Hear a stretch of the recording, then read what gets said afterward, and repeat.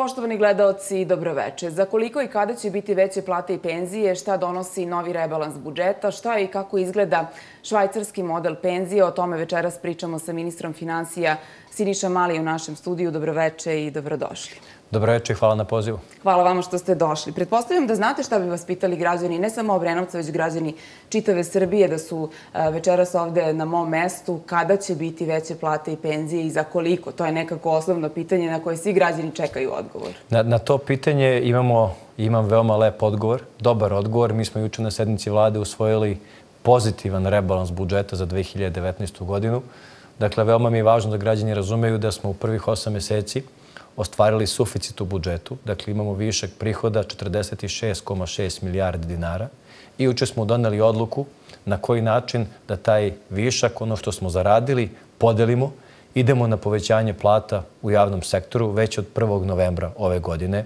Dakle, već povećena plata biće isplaćena negde početkom decembra za novembar.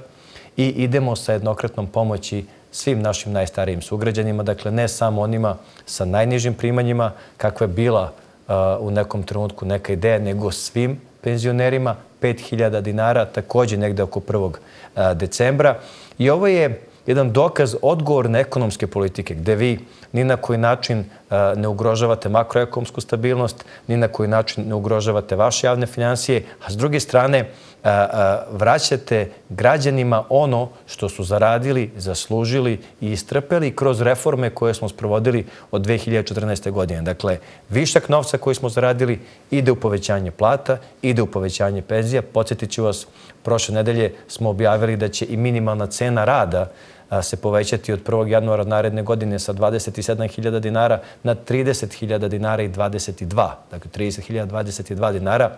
To je apsolutno najveće povećanje od kada se razmatra ili postoji minimalna cena rada. Dakle, dobre stvari su za građane Srbije, polako, ali sigurno dižemo kvalitet života u smislu e, životnog standarda, primanja građana.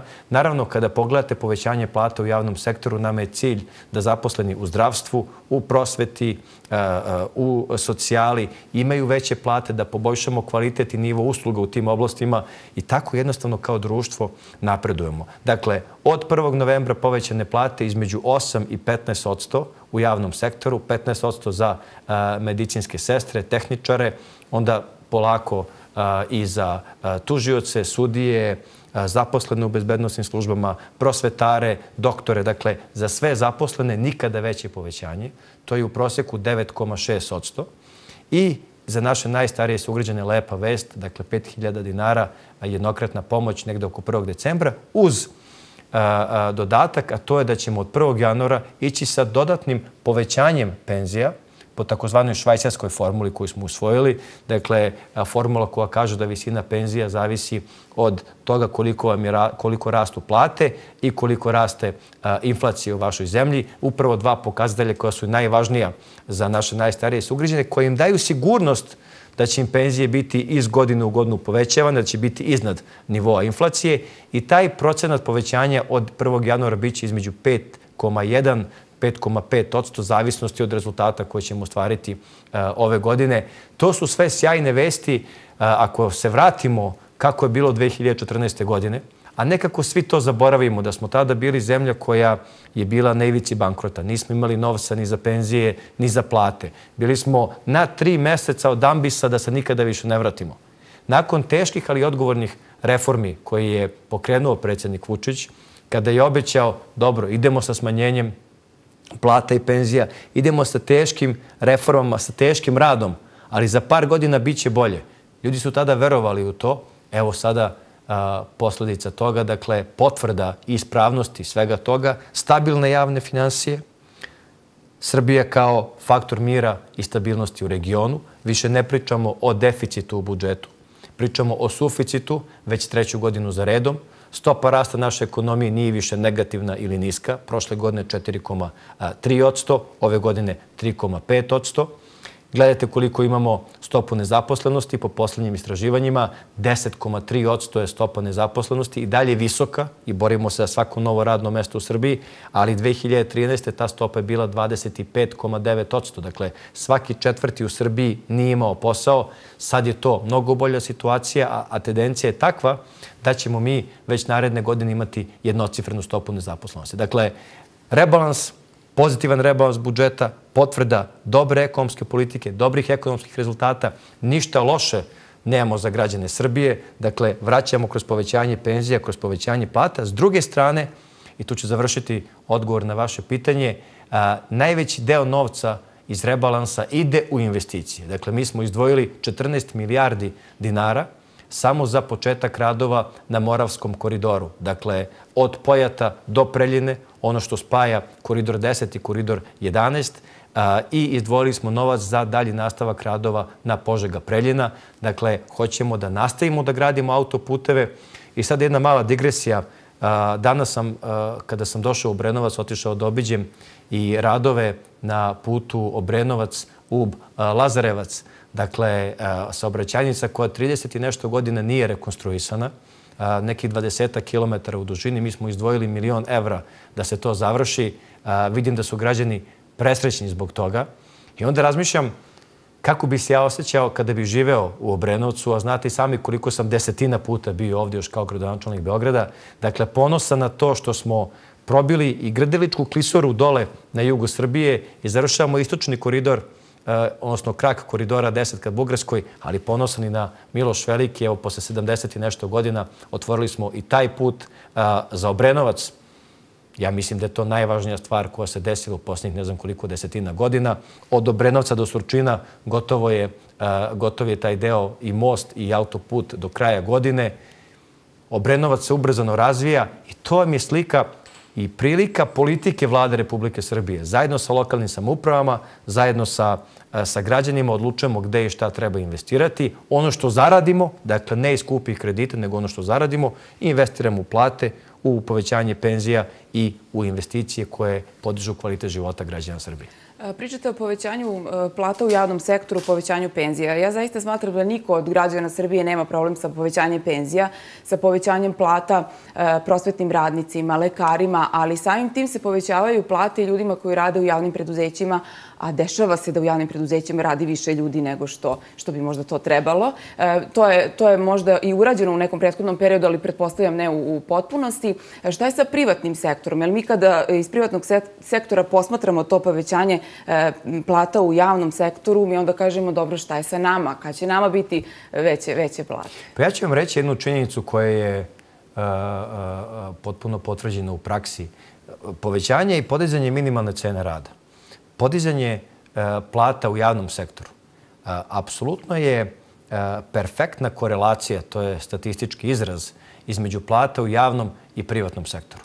Prosto, ako hoćete da privučete najbolji kadar, ako hoćete da privučete najbolji ljude i u privatnom sektoru, mora da podižete plate i da pratite javni sektor. Pred nama su bila dva izazova ili dva pitanja. Dakle, 2014. godine Ako uzmete u obzir da je stopa nezaposlenosti bila 25,9%, prvi izazov je bio kako da omogućimo da ljudi dođu do posla. Mnogo znači druga plata u porodici. Kada ima, recimo, otac ima platu, pa sad umeđu vremenu dobije majke ili dobije sin ili čerka, ta druga plata u mnogome im olakšava da plate komunalije, pokriju neke troškove i to je nama bio cilj. I sada smo došli do tog trenutka da smo sa 25,9 stopu nezaposlenosti smanjili na 10,3% sa daljom tendencijom pada. Sljedeći korak koji, na kome sada radimo je povećanje plata. Mi ćemo s ovim povećanjem minimalne cene rada i povećanjem u javnom sektoru već u decembru preći 500 evra prosečnu platu, kao što je predsjednik Vučić i obećao pre par godina. Krenuli smo sa 320 i nešto evra prosečna plata. Evo u decembru već 500 evra. A kako se meri prosečna plata? Samo da kažem, uz podizanje plata u javnom sektoru dizale su se plate i u privatnom sektoru. I tu, se mnogo, tu su dva aspekta veoma važno. Prvo, strane direktne investicije. Ja to mogu da iskoristim primjer Mejta. Dakle, pre, pošto je važno za Obrenovčane i vama je poznata priča, dakle, pre par godina Srbija je bila na začelju ne Evrope, nego regiona po pitanju stranih direktnih investicija.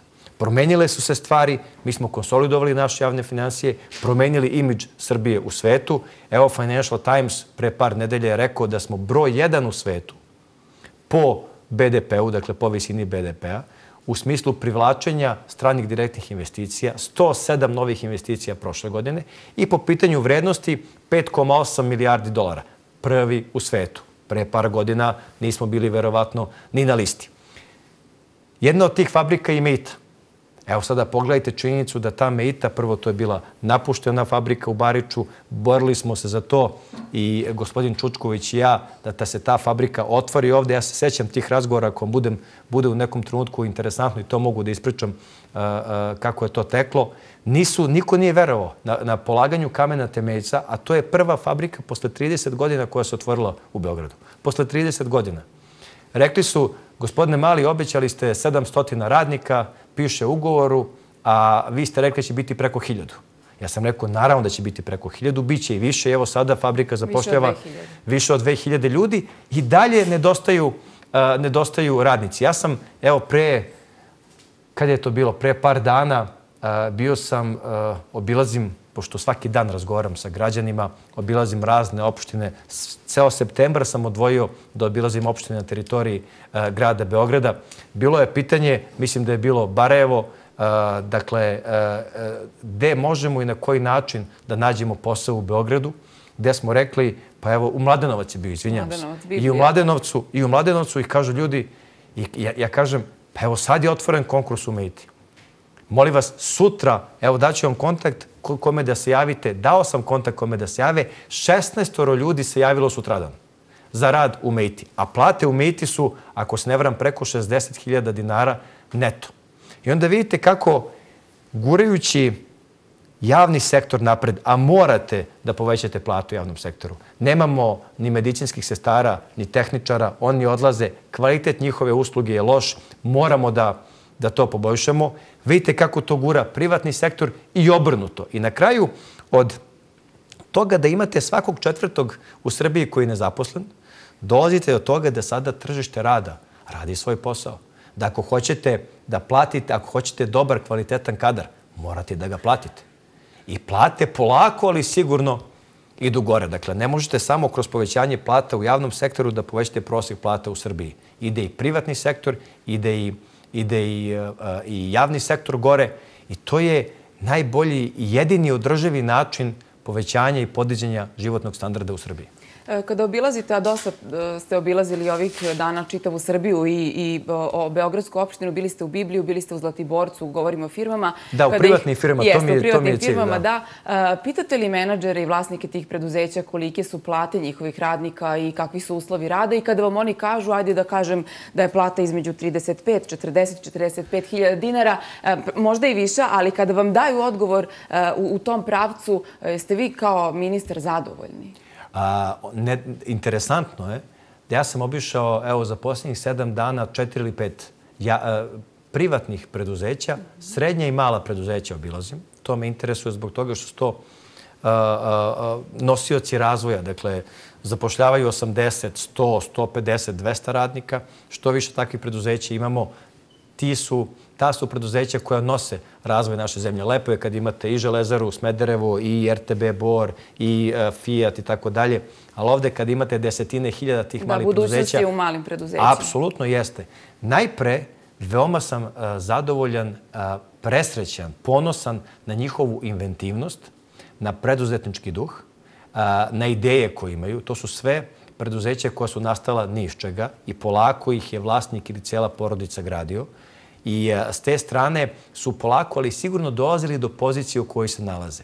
Takođe, e, oni su mi svi ukazali na promenu uslova privređivanja. Da ne zaboravimo, 2011. 12. to je pre 6-7 godina, vi ste imali stopu inflacije u Srbiji preko 11%.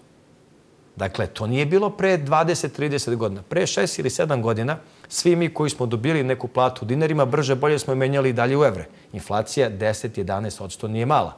Pa od 2008. do 2012. ako se i toga sećemo, kurs dinar-evro sa 80 na 120. Pa brže bolje pazi šta da radiš. Juče pričamo E, baš u toj firmi koju sam obišao, obišao sam jednu firmu na, na, e, u Rakovici. Kaže čovjek, ja se sećam te 2012. 11. Mi smo imali u našim bilansima kursne razlike od po nekoliko desetina miliona dinara. Dakle, kurs dinar evro nije bio stabilan. Pogledajte sada. Stabilna monetarna politika, niko više ne razgovara o inflaciji, 1-1,5% godišnje. E, stabilan kurs, ne samo da dinar ne slabi, nego čak i jača. O tome više ne razmišljaju. I kaže ljudi, uz malo podrške od strane države, a sad ću da vam kažem kakva podrška, evo on juče kaže sa 82 zaposlena idem na preko 200 u godinu dana. A kada kaže koja podrška treba, jer država subvencioniše i podržava i domaće preduzeće. Taj privrednik od juče, on je dobio 40 miliona dinara iz Fonda za razvoj za trajna obrtna sredstva i dobio je 2,5 miliona dinara bespovratno za, kao grant za mašinu iz Kine koju uvezo, gde postaje apsolutni lider u regionu u proizvodnji tih kablova koje proizvodi. Znači, grant poklonjeno kako bi on zaposlio ljude, kako bi napredio svoju proizvodnju.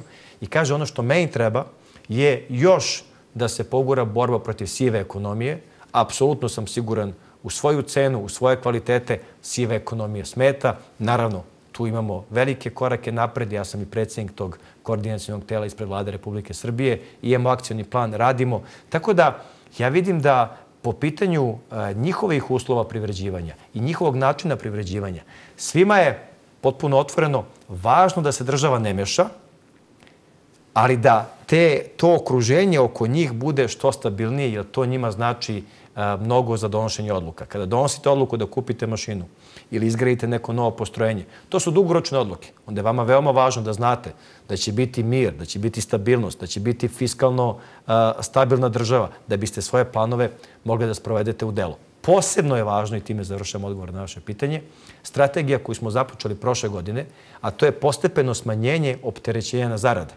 Prošle godine je bilo 63% da se kroz porez i doprinose naplaćuju na neto zaradu. Ove godine je 62%.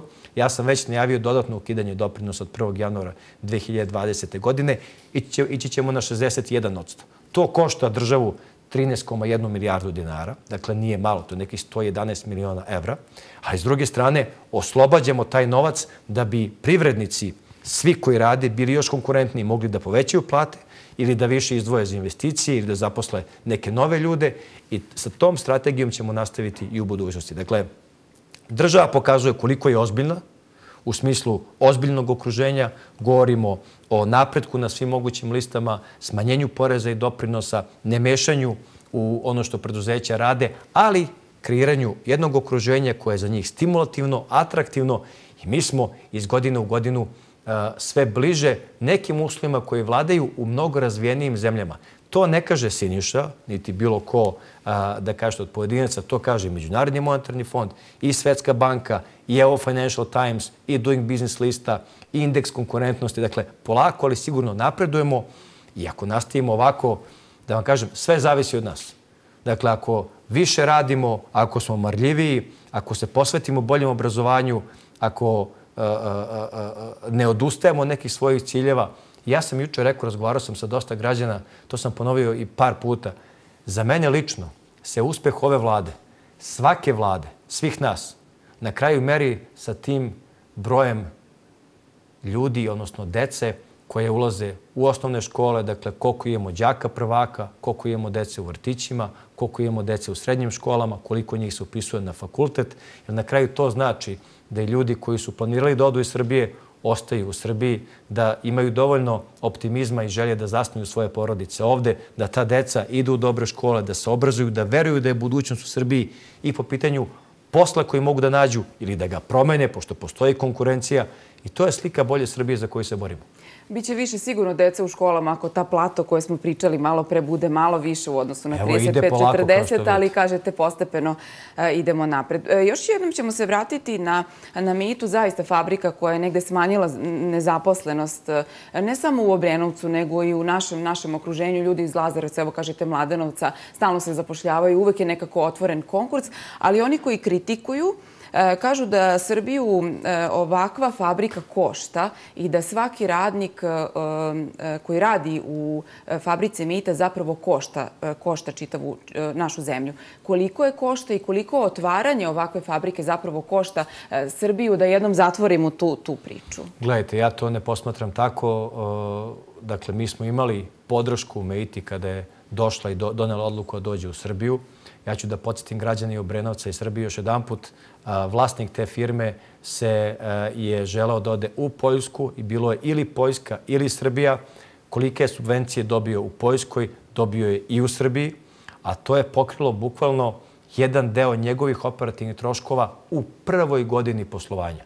Dakle, to je investicija da vam neko dođe i zaposli ljude. Mi sad imamo samo neto korist od toga. Dakle, kroz poreze, kroz doprinose država dobije u budžet od svakog zaposlenog u Meiti, a s druge strane imate preko 2000 zaposlenih i ko zna koliko porodica koje žive od toga. Tako da, kada pogledate subvencije koje idu, malo pre sam imao, dao sam primjer i domaće srpske firme koja je dobila subvencije, to je podrška razvoju preduzetništva, razvoju inovativnosti u našoj zemlji koju daju sve zemlje u svetu. Naše je samo da budemo bolji i da ne bude samo novac, nego i uslovi poslovanja, porezka politika, monetarna politika, fiskalna politika, sve ono zašto se i zalažemo. I sa te strane svaku novu fabriku i svaku podršku i daj Bože da imamo više fabrika koje možemo da pomognemo i uvek ćemo pomagati fabrike koje dolazi u Srbiju i strane investitore, ne samo, kažem, kroz stabilno okruženje, nego i novčano da dođu, naravno to važi za domaće investicije, da dođu, da zaposle i kada saberete da oni ostaju tu 10, 15, 20 godina, vi ste bukvalno pokrili deo njihovih ulaganja, ali to je minimalno isplati se već u prve godine njihovog poslovanja. Ali zato imate nove zaposlene, imate transfer tehnologije, imate umjesto napuštenih fabrika, kao što je bila prva Iskra Barić, imate jedno lepo postrojenje na ponosima, a onda jedna investicija bukvalo dovozi drugu, pa se onda čuje, pa dođu njihovi dobavljači, pa zaposli još 20-30 ljudi.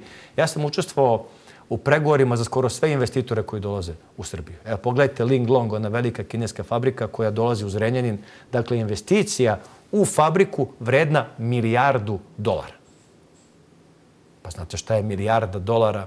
Mi ćemo pomoći naravno i tu fabriku, ali to je dakle, zanemarljivo mala suma u odnosu na njihovih milijardu na zapošljavanje tamo ne znam koliko ljudi i sve ostale poreze, doprinose koje će dobiti i država i lokalna samuprava. Nemojte da zanemarite činjenicu da preko 50% svih doprinosa i poreza koje se plaćaju u budžet Republike Srbije za svakog zaposlenog se vraća u lokalnu samupravu.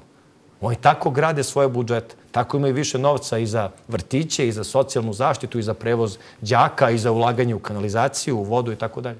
I to je jednostavno potpuno drugačija slika i Srbije i način funkcionisanja. Ne skupi krediti pa podelimo pa ne znamo kako da ih vratimo pa dođemo do bankrota i udarimo u zid, nego lepo više investicija, više zaposlenih, puni penzioni fond, možemo i da povećamo plate, više novca u budžetu, možemo da povećamo i penzije više. Dakle, s te strane smo apsolutno pokrenuli taj investicijni ciklus jedini, održivi, pravi, ispravni i na dugi rok najkorisniji za građane Srbije.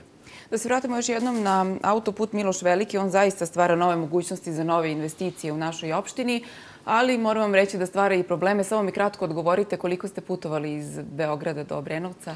Pa nisam kratko. Dakle, Niste kratko, nisam, da. E, to je problem negde svih naših sugrađana. I sada je pitanje da li je možda moglo da se sačeka da bude otvorena ova deonica Obrenovac-Sučin, da ne bi dolazilo do tih guži. Veliki broj građana i radi u Meiti, ali radi u Beogradu. I do Beograda putuje po sat, sat Znam to nemam tu pravi odgovor u smislu da nismo, da smo napravili, a nismo otvorili, rekli bi zbog čega niste otvorili. A s druge strane... Obrenovčani ja to mislim ne bi rekli. Ja mislim, ja mislim da je velika stvar bila što se, što se ovaj, otvorio Miloš Veliki.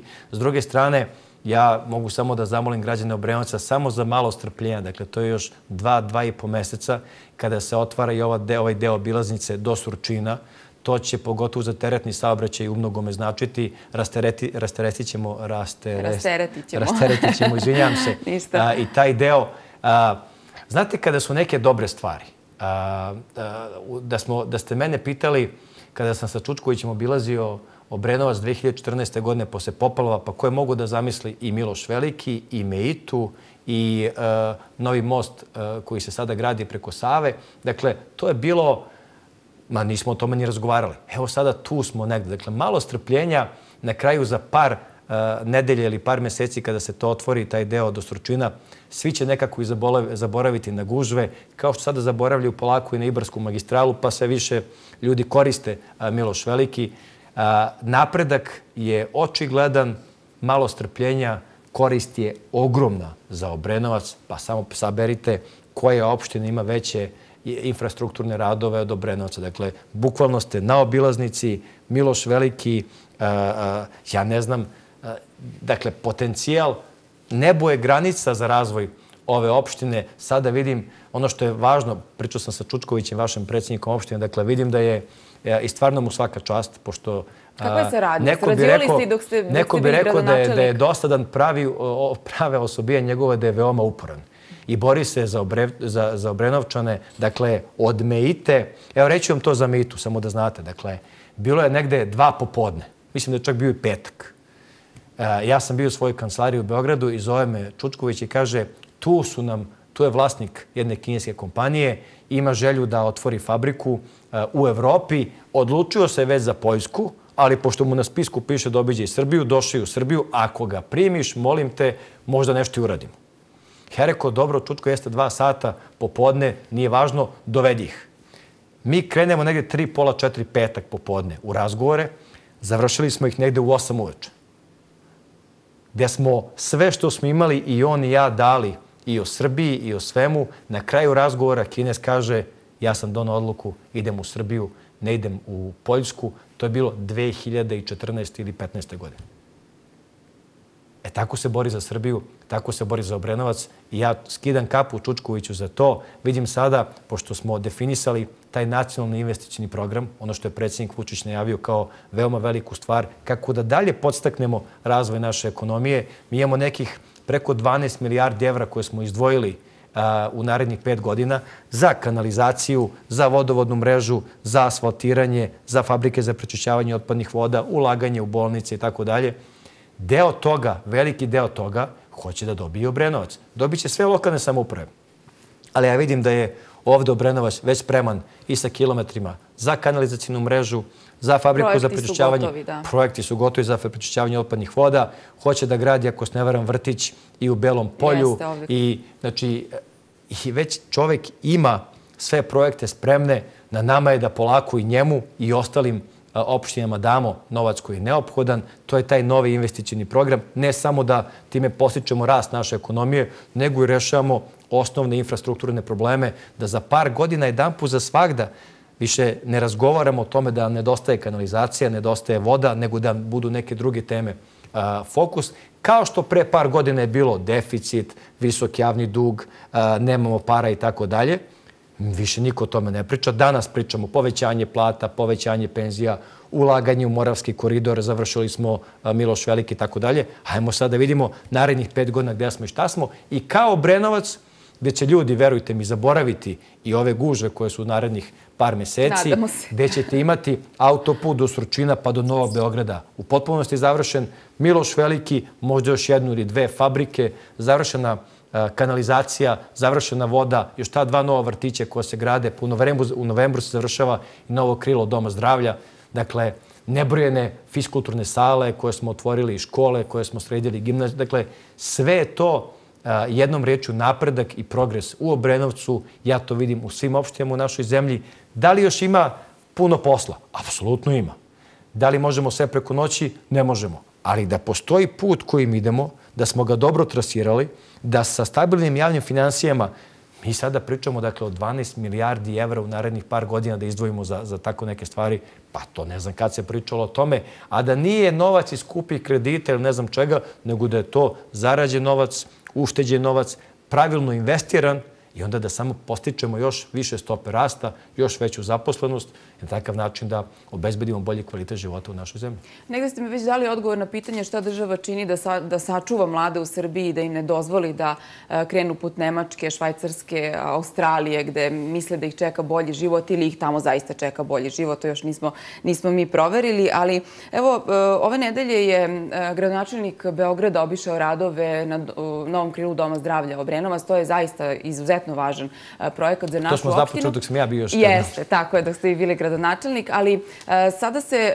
građani pitaju, odobravaju sve što se radi i zaista vidim da onako gledaju ono velelepno izdanje koje će biti u centru grada, ali znate šta se pitaju? Pitaju se ko će da radi u tom domu zdravlja. Mi smo dugo imali problem sa oftalmologom, nismo mogli da dođemo do lekara, nismo ga ni imali u Obrenovcu i onda se možda i sa pravom pitaju dobro ko će raditi u tom domu zdravlja. To je izuzetno dobro pitanje i pre par godina ja nisam imao odgovor na to pitanje, kao što znate i kao gradonačelnik Beograda, 16 domova zdravlja, raznih zdravstvenih ustanova na teritoriji grada Beograda nije bilo kadrova. U nekom trenutku neko iz nekih razloga, ne ulazim u tu njihovu prošlost, je zaustavio te specijalizacije, zaustavio to napredovanje. Mi smo to pokrenuli. Evo sad polako kako se ljudi specijalizuju, Nažalost, to traje godinu, dve, tri dana. Dobijamo kadrove koje su nam neophodne. Tako da polako, ali sigurno rešavamo taj problem sa povećanjem plata, sa poboljšanjem uslova rada. Dakle, nije isto kada radite u novom krilu Doma zdravlja ili u popuno rekonstruisanom kliničkom centru Niš ili Beograd, kada su vam uslovi dobri, kada vam plata pristojna kao medicinskog radnika i vidite da iz godine u godinu raste, tad ste motivisaniji da radite. A mi ćemo kroz ove specializacije polako kako veći broj ljudi prolazi kroz to. Ja mislim da smo samo u poslednje dve godine zaposlili 4000 novih medicinskih radnika, dakle 4000 radnika, samo što nažalost u nekom prethodnom periodu je taj zaostatak bio, bio mnogo veći. Ali nemojte da sumnite da će da sigurno ne postoji intencija da se napravi velelepni objekat i da onda zvri prazan. Dakle, borit ćemo se za to da što veći broj tih ljudi koji su neophodni po pitanju struke, lekari, medicinske sestre, dođe ovde u Brenovac, a nadam se da i ovde u Brenovcu već postoje ljudi koji žele da rade. E, postoje da i već su na specializaciji, to smo saznali. Evo, upravo je ta specializacija i ključ, tu sam, to sam e, Jeste. U toku je priprema budžeta za 2020. godinu, kratko da pogledamo u budućnost. Pa nema šta, ovaj rebalans, pozitivan rebalans od juče, je indikacija i budžeta za 2020. godinu, apsolutno razvojni budžet. Dakle, ako pogledate da smo mi u ovom rebalansu izdvojili 2,5 milijarde dinara za povećanje plata, a 14 milijardi za početak radova na Moravskom koridoru, vidite šta nam je prioritet nove investicije, nova infrastruktura. Krećemo i sa sprovođenjem nacionalnog investicijnog programa. Biće, kao sam rekao na početku ovog razgovora, i povećanje penzije između 5,1 i 5,5 odsto. Dakle, s te strane, budžet koji podržava rast plata i rast penzija, dakle, daje bolji e, životni standard građana, a s druge strane, apsolutno idemo i u završetak započetih investicija, veliki broj novih puteva koje ćemo graditi, mostova, krećemo tu kanalizaciju, vodovodnu mrežu, fabrike za prečišćavanje otpadnih voda. I to je, više nije čak ni tema, dakle, da li je budžet razvojni ili nije, nego je samo pitanje koliko ćemo stići sve da uradimo. Interesantno je da skrenem temu na sekund. Imate sada i manjak građevinskih firmi koje sve to mogu da postignu, jer jednostavno nikad se više nije radilo. Ali to je, recimo, problem koji ćemo mnogo lakše rešiti. Novca u budžetu ima, suficit nam je tu, zajedno smo ga zaradili i uštedili, vraćamo građanima kroz povećanje plata, kroz povećanje penzija. S druge strane, Moravski koridori, obilaznica, Obrenovac, Surčin, novi kilometri novog asfalta, to je naša strategija od koje nećemo odustati i to će biti suština i budžeta za 2020. godinu. Delegacija MMF-a Boraviće u Srbiji, ako se ne varam, početkom oktobra, šta će biti glavna tema, pretpostavljam, budžet? Glavna tema, oni dolaze 3. oktobra. Glavna tema... Šta očekujete? Budžet za 2000... Pa očekujem teške razgovore, ali e, e, imamo mi veliku korist od e, Međunarodnog monetarnog fonda i po pitanju kredibiliteta koju daju našim reformama i po pitanju saveta koje dobijemo od njih. Ono što je važno, držimo se deficita od 0,5% projektovanog deficita koji nam smanjuje iz godine u godinu javni dug. To je njihov zahtev, toga se držimo. Također svih ostalih parametara koje smo definisali po pitanju fiskalnih pravila, da ne zamaram sada ni vas, ni gledalci, ni to baš toliko jednostavno, ali s druge strane, zajedno sa njima treba da vidimo kakva će nam biti stopa rasta naredne godine i u koje ćemo to investicije uložiti. Postoje veliki broj drugih inicijativa koje radimo, to je reforma Poreske uprave, razvoj tržišta kapitala i sve ostale stvari koje radimo i mislim da po tom pitanju smo... Oni su zadovoljni, a mi smo po planu u odnosu na sve to što treba da uradimo prema njima. Kažem, znači dobra reč s njihove strane, podiže kredibilitet cele naše zemlje, svih, svih ovih reformi koje sprovodimo i to nam i dovodi investicije, smanjuje cenu kapitala i gura ovu zemlju napred. Često govorite o industrijskoj revoluciji. Šta će ona zapravo doneti Srbiji? Pa to je industrijska revolucija, takozvana 4.0. Dakle, e, revolucija koja se zasniva na, na, na znanju, zasniva se na veštačkoj inteligenciji, zasniva se na softverima, na nekom IT-u.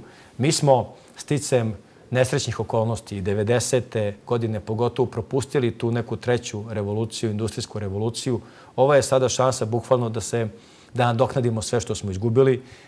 Ono što je predsjednik Vučić pričao, to nije nemoguće. Dakle, vi sada već pričate u nekim zemljama kao što su Kina, SAD, o tome da imaju i da će imati već naredne godine leteće taksije, da će imati automobile koji, taksiste koji su, odnosno taksi automobile bez vozača. Zvuči Pa zvuči, ali gledajte, kad pogledate firme koje su se već otvorile u Srbiji, Kada pogledate, to je da je naša IT industrija najbrže rastuća privredna grana u Srbiji. Kada pogledate koliko mladih i pametnih ljudi radi na tome, ja mislim da tu nema razloga da tu omanemo, što bi, što bi rekli narodski, da to propustimo i da budemo deo svega toga. To za nas onda znači da postajemo stvarno deo uh, uže grupe razvijenih zemalja uh, uh, na svetu, da više ne pričamo o svim onim problemima sa kojima smo se suočavali decenijima unazad. Ja iskreno verujem kroz stabilnost financija, kroz uh, sve ove mere koje preduzijamo kako bi ljude zadržali u Srbiji i kroz inicijative koje imamo pogotovo da privučemo te investitore koji se bave uh, takvim proizvodima i takvim programom. To je visoka tehnologija, to je sada ono o čemu se priča, to je najveća konkurencija između svetskih sila. E, mi hoćemo da budemo deo toga i radimo, sa tim, i radimo na tome i sa kinezima, i sa ljudima i firmama iz Amerike i Ujedinjih Arabskih Emirata, da budemo deo toga i što da ne. Ne vidim razlog da je za nas nešto nemoguće, što se možda činilo nemoguće pre par godina, po meni je sada sve moguće. Imamo i dobre e, e, uslove, imamo pametne, mlade ljude, imamo predsjednika koji ima jasnu viziju šta hoće od Srbije. Ja mislim da smo stvarno na dobrom putu i ako smo dovoljno marljivi, dovoljno pametni, dovoljno strpljivi, iz godine u godinu Srbije će biti sve bolje mjesto za život. Sve vreme pričate u superlativu i to je sasvim u redu. Ja nemam ništa loše. Da li postoji nešto čime niste zadovoljni? Ja, da vam kažem, eh, ja, evo, ne znam koliko mi ljudi znaju, ali ja sam stvarno uvijek bio optimista. 2014. godine, kada sam preuzeo upravljanje gradom Beogradom, tada smo na računu imali manjak od 14 milijardi dinara. Dakle, došao sam u kancelariju, svi kažu dugujete nam toliko i toliko, ja saberem koliko je sve to, 120 miliona evra, koliko para na računu, krompir, ništa. Sad, kada pogledam kroz što je prošao grad Beograd, kroz što je prošao Obrenovac, Republika Srbija, ja ne vidim razlog da, da ne budem optimista. Dakle, ja mislim stvarno iskreno da su najteže mere iza nas i fiskalne konsolidacije i svega. Sada smo na dobrom putu. A da kažemo da smo tada a, a, išli sporo ili smo puzali, sada smo recimo ustali i treba da krenemo i da trčimo. A što da ne? Jesmo nesposobni? Nismo. Jel imamo e, veter u leđa? Ja mislim da imamo. Dovoljno smo pametni da to ostvarimo. Zavisi od nas. Hoćemo ili nećemo? Stvarno zavisi od nas. Ali ja stvarno imam želju da moja deca, 13, 11 i 9, da pojma nemaju ni šta je deficit, ni šta je fiskalni rezultat, ni šta je monetarna politika. Ni da čuju da neko ima platu 25.000. I tako je, ali da zato kažu, gledaj tata, hoću ovu školu ili ovu školu, super, hoću na ovaj posao ili ovaj posao, dakle, hoću da promenim posao jer mi ovaj daje bolju platu, Dakle, hoću da imaju te teme, da će da zasnuju porodicu, kada, koliko. Ja hoću da deca naša tome pričaju. I da ne odu iz zemlje, pretpostavljam. Apsolutno da budu u našoj zemlji. Sve se to i zasniva, da bu, ja sam malo pre rekao, uspeh svih nas, bez obzira na politiku, meri se time koliko imamo dece E, u prvom razredu osnovne škole, koliko njih ima u vrtiću, koliko njih ode u srednju školu, jer to vam samo govori da smo stabilni, da su roditelji bili sigurni u budućnost Srbije, ostali, zasnovali porodicu, da li imaju platu da sve to podrže, a onda gradimo na to, dodajemo i nove poslove, i nove investicije, i nove mostove, i kilometra autoputeva, i veštačku inteligenciju i sve ostalo. Ja sam stvarno veliki optimista i Meni nije teško da radim ni 15, ni 20 sati, da obilazim opštine, da razgovaram s ljudima, da, evo, završimo prošle nelje, smo završili tu minimalnu cenu rada, juče rebalans budžeta, samo za mesec dana, budžet za 2020. godinu. Sve su to velike stvari, deo mog posla, ali sam najsrećniji kao danas kad sam bio, kad sam obišao taj put Obrenovac u Blazarevac. Dakle, vidite, novi kilometar, vidite taj crni asfalt. Bilo je tamo jedno 50-a, kako ne i više ljudi svi koji žive okolo presrećni, vide asfalt, čist, dobar put. Jeste, zaista je bio u lošem stanju, to znaju oni koji su stalno prolazili. Tu je Tako, teško dakle, bilo proći stvari automobilom. Menjate, stvari menjate, pronalazite novac i polako rešavate jedno po jedno. Ne može preko noći, ali uz puno strpljenja, još jedan put, najteže iza nas, sad polako gradimo još nešto bolje. I samo za kraj naredne godine što očekuju izbori, ako dobijete ponovo poverenje građana, gde vidite sebe? Bili ste gradonačelnik, sada ministar pa puno, Puno još ima do, do izbora, da, da budem iskren i ne razmišljam o tome. A, najvažnije mi je ovo što građani misle. Dakle, mi se bavimo svojim poslom, gledamo ovu opoziciju, hoće da bojkotuje, neće, jesu muzičari, nisu muzičari, ne znam ja šta više žele. Mi se bavimo građanima Srbije. Veoma mi je važno da čujemo njihov glas. A, to radimo svaki dan već godinama unazad. Dakle, potpuno je nevažno da, smo, da su izbori ili nisu izbori. Borimo se za svaki novi kilometar puta, za svaku novi, novi metar kanalizacije, vode, školu, obdanište, e, zdravstvenu ustanovu. To je naša politika. Ono što mi je sigurno važno, meni lično je da ostanem u timu Aleksandra Vučića, e, e, mog prijatelja, verujem u njegovu viziju, na kraju evo rezultati koje je i e, svojom vizijom ostvario. Pričamo o tom povećanju plata, penzije i svem ostalome. Mislim da je Srbija zbog njega dobrom putu i nadam se da ću nekim svojim znanjem i iskustvom i dalje moći da doprinesem ostvarenju te njegove vizije. Hvala još jednom na gostovanju i što ste bili gost naše emisije. Hvala vam na pozivu. Hvala. Bilo je još jedno izdanje emisije Tepih. Ostanite uz kanal Televizije Magi. Gledamo se naredne nedelje.